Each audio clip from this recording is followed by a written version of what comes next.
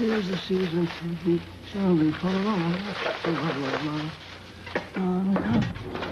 God, I hate Christmas. That's the spirit. Well, who wouldn't?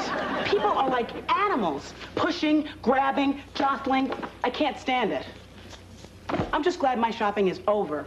If I never had to buy another Christmas present, huh, I'd be the happiest woman alive. God, I love Christmas. Oh, good. The other side is heard from. I mean, you know, all the bustling and the hurrying and everything. Everyone's so excited and all. I'm just sorry my shopping's all over with. I could shop for Christmas presents the rest of my life. Funny, Connie was just expressing a similar sentiment. What was it, Connie? Speaking of presents, I hope you two like yours. Oh, well, thank you. You bought us gifts? Oh, if you didn't buy me one, don't worry about it. I don't buy to receive. I buy just because I love to give and because I consider you guys like my family, you know, now that Charlie and I are divorced and it's my first Christmas all alone. I hope you're not allergic to fine wool and Angora. Jordan, I've got to go back out. See you later. Good thing I don't wait till the last minute, huh? Be careful, that's hot. Well, actually, it's not. Enjoy. Hey, Where's Darden? I gotta ask him a big favor. He's on the phone in his office. Uh, by the way, here. Merry Christmas. Oh, Connie, you shouldn't have. I know, but you did, so I felt obligated. Can't imagine what it is. It's not much. Well, I like the way you wrapped it. I bought it wrapped. You really want me to feel good about this, don't you? Oh, Delta. You're here. Hold on a sec. Here you go. Merry Christmas. And I thought this was going to be a depressing Christmas. I'm sorry, I didn't know what to get you. I- You know, we haven't known each other that long. I just figured everybody liked hickory salami. Well, you know, if you really want to get me something I want real bad, how about would you let me throw a party here Christmas Eve for underprivileged children? I used to do it every year back in Gooseneck. You got it. Really? Sure. W- well, would you be Santa? Sure. Boy, you're in a good mood. Well, I just got off the phone with my daughter. She's flying in to spend Christmas with me. How'd you know you had a daughter? You haven't heard of Talia Towe, the world's most perfect person?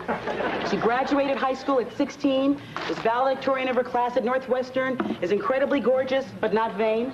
Naturally, she's dating a great guy, but right now she's juggling a career as an investment banker where she's the youngest VP in the history of the firm. And she skis. Wow. She'll only be here for three days, but I tell you something. I look forward to those three days all year long. Well, I tell you what. In the true spirit of Christmas, which is to give, how about if I volunteer to work Christmas Day? Then you could spend more time with Talia. Well, gee, that would be great. Consider it my Christmas gift to you. But you've already given me a gift, and I gave you one. Guess that means you owe me another one.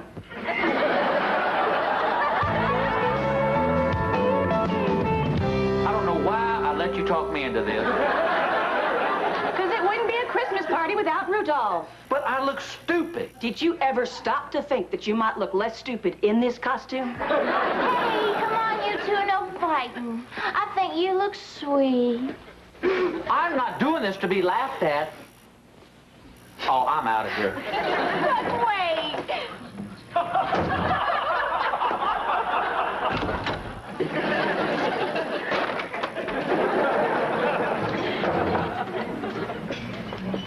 What? What?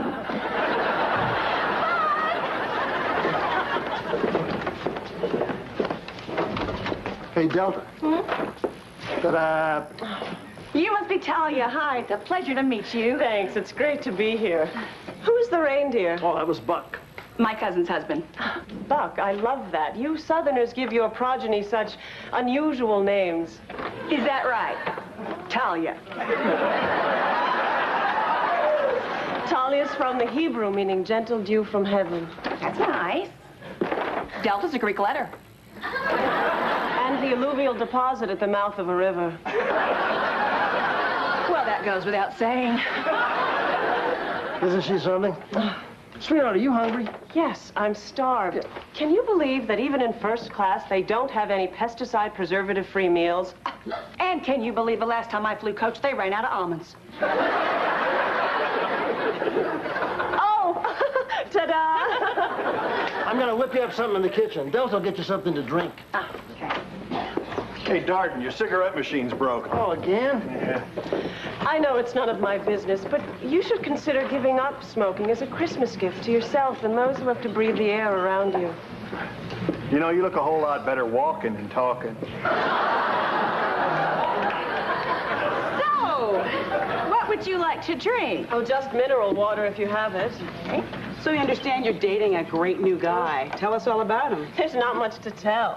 JD, MBA from Harvard. His family's in publishing. He has his own software company, and we met when I was assigned to manage his portfolio. Ooh, then what happened? Actually, I owe him a call. Is there still a phone and vanity in through there? Yeah. Thanks. You have to admit, she is gorgeous. Mm-hmm.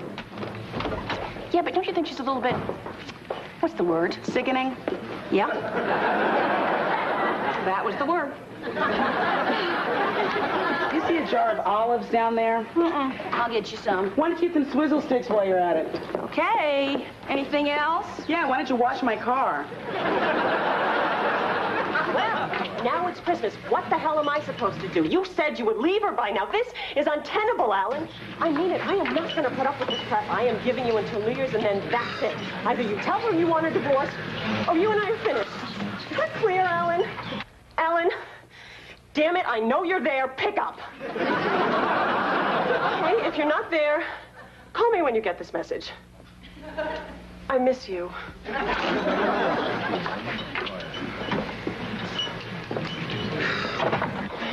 Talia? Yes? Uh, is everything okay? Yes, everything's fine. All right, I confess. You found out my one bad habit. I don't really smoke. It's an affectation I picked up from watching foreign films. I don't even inhale. You know, but it's interesting that you would do your affectation when there's no one here to affect. Well, maybe I inhale a little bit. But I'm quitting. Is there something that you wanted? Oh, yeah. Sorry. So, uh, did you, did you reach your boyfriend? Oh, yes. I feel so bad. He really wanted me to be with him at Christmas, but I had to tell him that this was my special time with my dad.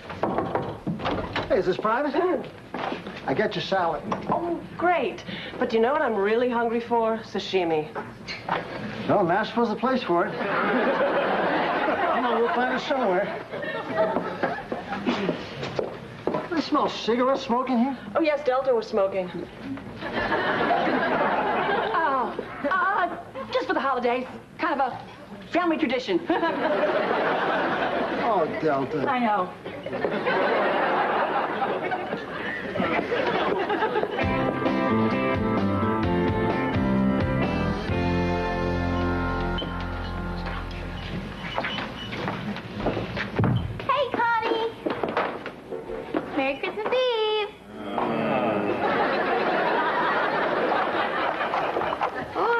Christmas Eve bar crowd is a merry group.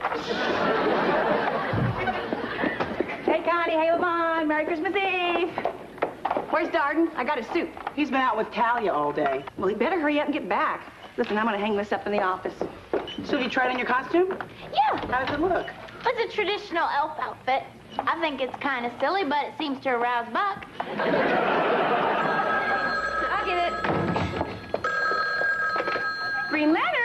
Merry Christmas Eve. Talia Towe? No, she's not here. Can I take a message? Alan.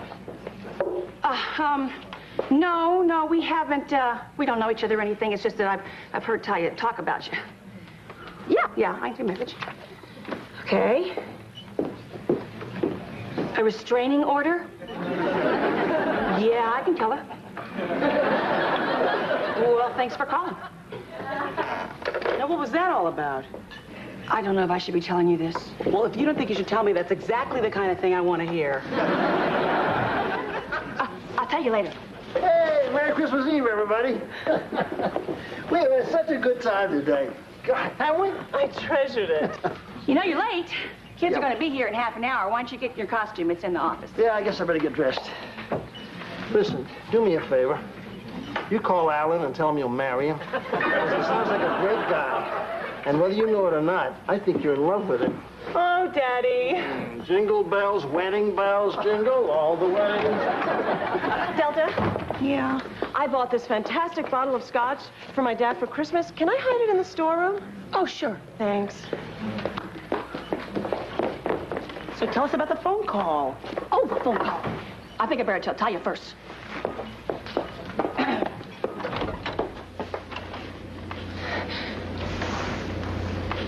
Took a sip. He's not gonna miss one sip. Hmm. Look, I know this is none of my business, and I really did not mean to get caught in the middle here, but you just got a call tonight from Alan? You spoke to Alan? I know what's going on. I, I, it was an accident. You know, I accidentally overheard your phone conversation in here yesterday, and then tonight, Alan wanted me to tell you that if you if you keep bothering him, he's going to put out a restraining order. Well, great. I officially have nothing left in my life. Oh, come on now. Uh, that's not true. You know that. You're right. I got a great bottle of scotch. I don't know what all's going on, but you are obviously in trouble. Ta-da! Is there anything I can do to help? Yeah, you can get me a new boyfriend. I seem to have driven mine away. And while you're at it, you can get me a new job. I seem to have lost that, too. You lost your job. Hey, times are tough. The problem with being the youngest vice president is you're also the first to go. And if you really want to help, you can get me a glass and some ice because it's only slightly degrading sitting on this crate and drinking out of a paper sack. You're really in trouble, aren't you? Oh, yeah. Daddy's perfect little girl has hit the skids. Maybe you should talk to your father. My father, if he knew the truth about me, it would kill him. I don't think so. He loves you. My father loves the girl who graduated from high school when she was 16 and who was valedictorian and who never did any drugs or smoked or drank or gave her parents any problems. He does not love me. You know, I don't think your father even knows you. You keep playing this charade, and it's just, it's crazy. I mean, what can you possibly be getting from all this? You're right. I'm not getting anything out of this. This is all just one more pressure that I don't need. Uh, oh, where are you going? Back to Chicago. Hey, hey, hey, wait, wait. What about Jordan? Tell him Alan and I eloped. He'll be thrilled.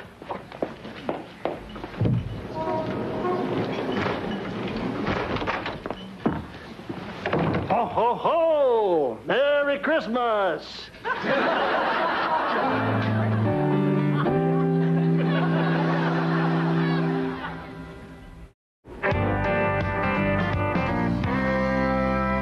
So, how do I look? Oh, you look great. Great. Kids are going to love you. Where's Talia? I want her to see this. Talia. Went shopping. Yeah, shopping. she said that there was another present she wanted to buy for you. Oh, God, I already told her. I, mean, God, I told her having her here was the best present of all. She doesn't have to get me anything. You're right. You know what I should do? Go to the mall, find her, stop her from buying. you uh, entertain the kids till Buck gets here. Uh, Darden, there's a box of candy canes up there by your chair. Connie, get your little costume on and set out the salami. I'll be back as soon as I can. Boy, Christmas salami. Does that bring back memories?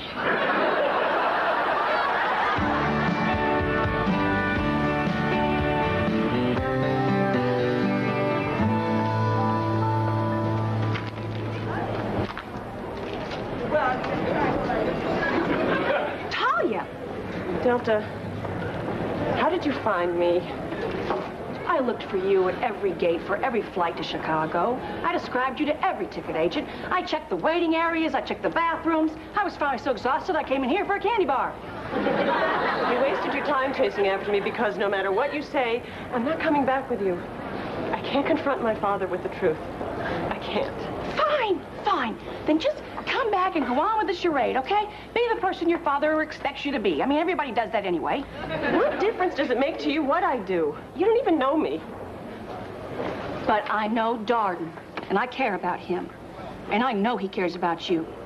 And believe it or not, so do I. And despite everything that you've said and done, I still think you're a really nice person. And you're a shoplifter. Yes. Here's a little something for you. That. And don't for a moment believe you're really a shoplifter. And there's a camera over your shoulder. Put the item back. Very good. Now let's move away from the shelves. Okay, all right. Listen, just promise me that you won't leave. Flight 451 to Chicago is now in final boarding at gate 17. That's my flight. If you leave now, if you leave now, you'll never know what your father got you for Christmas, and it's really neat because I saw it. oh, look, I don't know what the solution is, Talia. This, I don't even know if there is a solution. I just know that running away is not going to help you. And it's going to hurt somebody who really loves you. This is the final boarding call for Flight 451 to Chicago, now boarding at gate 17. Oh, come on. Let's go back. I guess I can keep up the charade for one more day.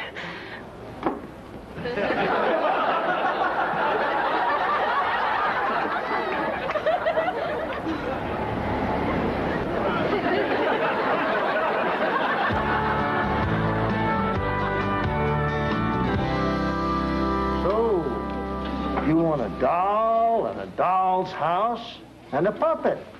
And what else? And a glass of water. I'm really thirsty from all the salami. Well, I'm, uh, I'm sure this little elf here will be happy to get you something to drink. Little elf. Bye. Who could be keeping Delta and Talia? It's not like Talia to be late. Well, just because she's late doesn't mean she's been lying to you for years. What? Nothing. Cheer up. Okay, girls, you're next to see Santa. Hey, mister, what do they pay you to dress like that? they couldn't pay me enough. Now, children, it isn't nice to laugh and call Rudolph names. Why not? Because Santa's helper is married to Rudolph, and it took her all afternoon to talk him into doing this. Rudolph's got a babe. Hey, kid, how'd you like to step outside? Let's go. All right, maybe later. We're back. Well, there you are. It's about time. Sorry we took so long. You wouldn't believe the amount of money I talked Talia out of spending on you. Daddy, I need to talk to you. Now? What are you doing? What you said I should do. I didn't mean now. Well, I have to before I lose my resolve. Is there anything wrong? Can we please talk? Yeah, sure. Excuse me, kids. Give Santa a break here. I'll be right back. Where's Santa going? Santa has to talk to his daughter. Santa has children? yeah. He has children from his first marriage.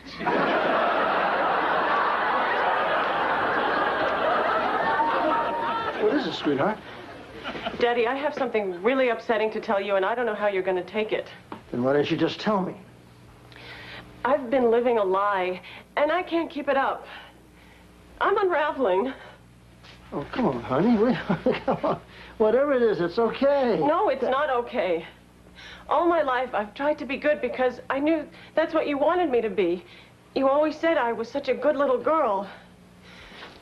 And when you and Mom broke up and you left, I thought if I was good enough, you'd come back. And now that you know that I'm not good. Oh, honey, come here. Come here. It's okay, honest. My God, don't you know that there's nothing you could ever do that would make me stop loving you? Huh? You're my daughter, sweetheart. What, what if I told you that I killed someone?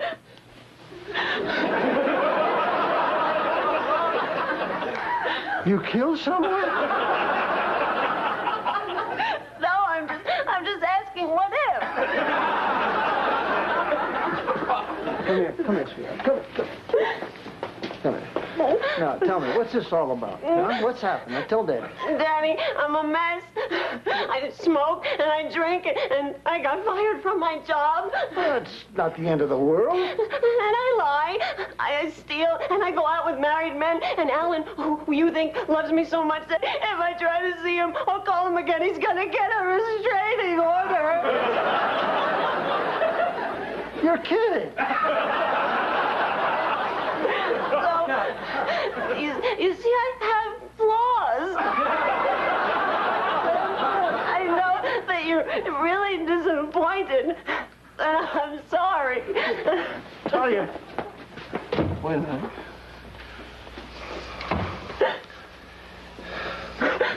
Sweetheart, why should you be sorry? I mean, if I made you feel that way, then I'm the one who should be apologizing, not you. My God. I never meant to put that kind of pressure on you. I mean, I've always been proud of you, but I, I, I never cared if you were perfect.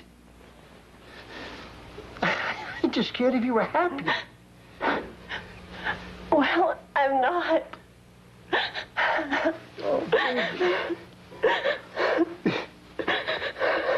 My God, then let me help you, sweetheart.